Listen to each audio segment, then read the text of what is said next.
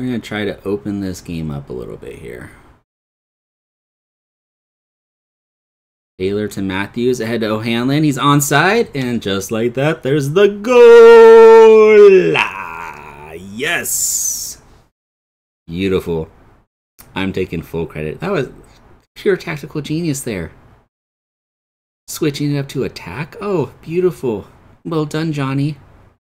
Oh, all me. Oh, I'm sitting in the chair and my player's on the field. Oh, that goal was all me. All me. oh, it feels good when everything